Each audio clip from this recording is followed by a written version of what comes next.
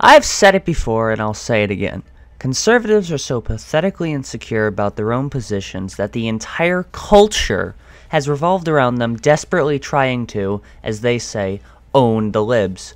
Ben Shapiro, Charlie Kirk, Alex Jones, literally thousands of YouTube compilations use exact childish terminology to entertain themselves with, rather than their own super important issues like a free vaccine that's been saving lives, and companies saying happy holidays instead of Merry Christmas. And the Libs of TikTok account on Twitter is the apotheosis of this, in which they purposefully target the lowest hanging fruit they can find, oftentimes the creator being a child, and try to expose it. I'm going to discuss the obvious example first because it's perfectly indicative of how hopelessly sociopathic the owner of this account seems to be, so we need to establish a few things here. The Trevor Project is a wonderful suicide hotline for LGBTQ people. You see, because some parents are still awful to their children if they believe that they are gay, they can be abusive towards them, to the point of them being suicidal. Nearly one in five LGBTQ teens have attempted suicide. It is attempted roughly every 45 seconds, and a large factor of that is helicopter evil parents that won't let them live their lives because they think they're being groomed by pedophiles, which is a blatantly homophobic, false, dangerous mindset that fucking kills teenagers. The Trevor Project is a necessary, wonderful organization that I've donated to numerous times and is meant to fucking prevent people from offing themselves. And they recently introduced this new feature on the website where if you tap the escape key three times, it immediately closes the page and clears the history. It's meant to allow you to access the site without the aforementioned evil parents persecuting you. Now, what did the Libs of TikTok account have to say about this feature that a suicide hotline implemented? They are now teaching kids to hide information from their parents in an effort to create division and mistrust. This is what cults do. Alright, first and foremost, you are not entitled to share every waking thought you have with your parents. That is at your discretion. Your parents need to know as much about you as you're willing to tell and nothing more. And secondly, if your parents are investigating your text messages and search history, they do not fucking respect you, and they are not good parents. And this kind of attitude leads to kids being fucking killed.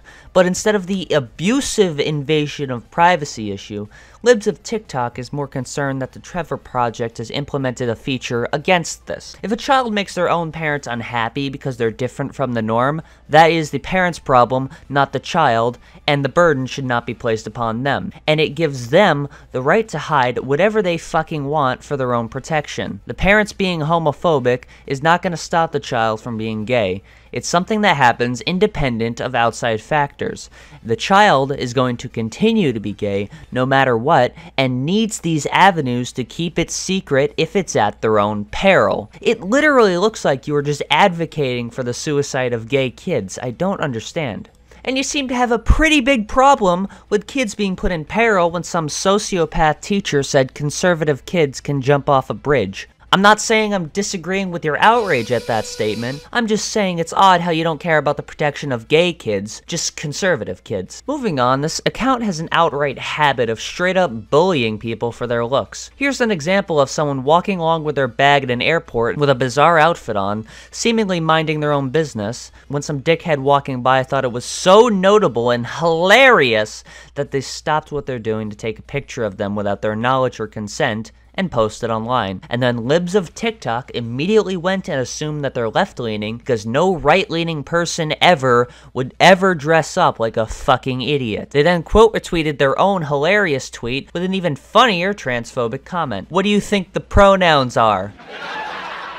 And they do this a couple other times with people that are genuinely just living their life. Hey, here's an idea, libs of TikTok. What does your face look like? Because you you never show it. These people are they're putting themselves out there, so it's so funny that you don't show your face and you don't show what you look like, but you think it's cool to just make fun of other people for what they look like. Uh, here's an example of a trans man who suddenly had his period asking people for Midol and then being bullied and called epithets for it. Now the video looks really faked. I, I get that, but I'm going to assume that it's real because the Libs of TikTok account seems to believe that it's real. Now, the Libs of TikTok account is more concerned that the guy looks kind of strange than the bullying and the epithets that he suffered for asking for Midol because that's clearly the bigger issue. You certainly have your priorities straight. Let's take a look at some of the comments from these people. In the aforementioned video, someone mentioned, hey, you're beautiful to the person taking it. So someone commented on that saying that they're a total enabler.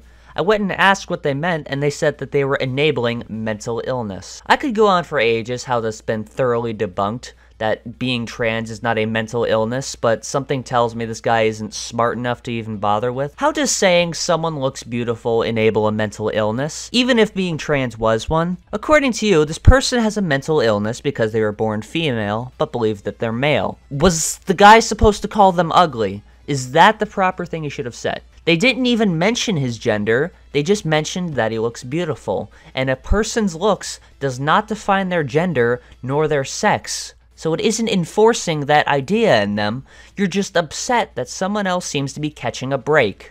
It's as if you legitimately just want to make life hell for people. And I want to reiterate that this guy is incorrect about trans people suffering from mental illness, specifically because they're trans. Now here's a reply to the previous tweet about the Trevor Project from a verified account calling for no mercy for pedophiles. This is the work of pedophiles. This is the work of people who want to undermine your parenting. We must protect the children at all costs. These people deserve no mercy because the Trevor Project made a suicide hotline to keep kids from killing themselves.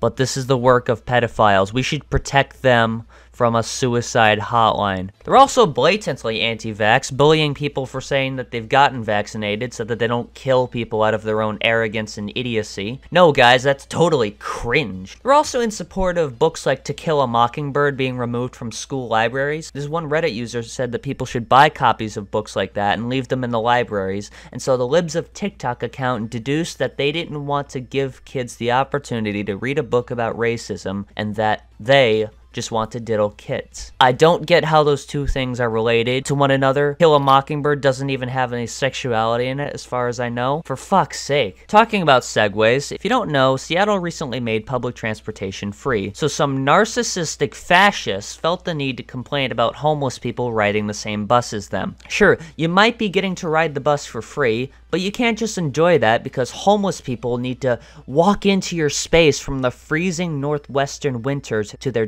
destinations. Seattle is reaping what they sowed. Also, they're an election denier.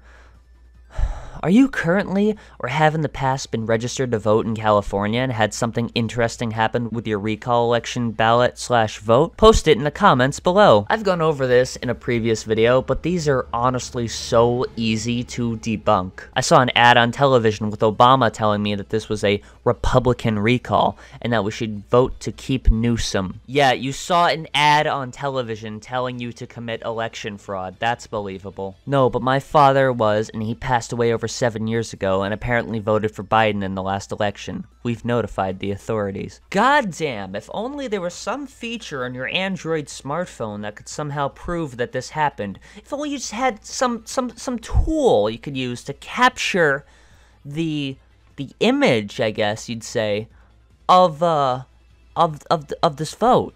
It, it sucks so much you just simply can't prove it. I guess we just have to take your word for it. And also, these people coming in after, just do we just have to take their word for it too? Because if many people are saying it, it's gotta be true. Because there's no way you can prove that. Now here's someone that somehow managed to capture proof that they got duplicates. Let's assume that this guy didn't print these himself, and let's assume that this wouldn't be caught within hours once they saw the identical names and addresses. You see that print right there? It doesn't matter if they fuck up and send you multiple ballots, you would still be committing a federal crime if you fraudulently submitted both of these ballots, and you would be caught. Not to mention the biggest factor, you get a ballot when you request a vote by mail ballot. Sorry to say it, but you might literally be implicating your ex-wife for a crime by presenting evidence that insinuates she ordered two ballots under two names intending to vote under both of them. That is fraud. And it wouldn't even work because the election authority would notice either the signatures on the ballots would match, which would get it thrown out, or if you tried to do a different signature, it wouldn't match the signature they have on file for you, which again would get it thrown out. To put it simply, in the most simple terms, if you request a mail in ballot, you must sign a legal attestation on the envelope, and then election judges will verify the signature before the ballot is counted. The same standard used when voting in person. The whole reply section is filled with easily debunkable shit like this, and the Libs on TikTok account loves just airing it and blowing it up because fucking anything that's anti-lib is good, I guess. Holy hell, I wanna die because these teenagers are acting a little cringy. And you know what? That that would be terrible because honestly, would you be missing out on a lot if you somehow ended up dead? Because I, I would genuinely hate for that to happen because you contribute loads to the general fucking community. I'm not sure if I would stop crying if we didn't have someone to advocate for the elimination of suicide prevention resources, or to randomly bully kids on Twitter for their looks, or to provide a voice for fascists. Genuinely, you're a great valuable person. Now listen, I know you're very fucking slow, so I want to say this before you have a meltdown and bully me for my looks, because that's the only thing you know how to kind of do. I'm not advocating for your death here. This is a joke. Don't cancel me because I just told a joke. Don't be a fucking pussy. Just fucking deal with it.